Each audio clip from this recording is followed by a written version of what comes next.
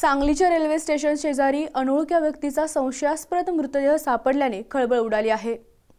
सांगलीच्या railway station शेजारी अनोळख्या व्यक्तीचा संशयास्पद मृतदेह सापडला आहे. तीन ते चार दिवसाचा हा मृतदेह असल्याचा संशय व्यक्त केला जात आहे.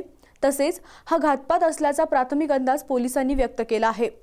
विश्रामबाग पोलिसांनी मृतदेह ताब्यात घेतला असून शवविच्छेदनासाठी मृतदेह पाठवण्यात आला आहे. हा मृतदेह कोणाचा आहे आणि घातपात आहे का याची चौकशी पोलीस करीत आहेत.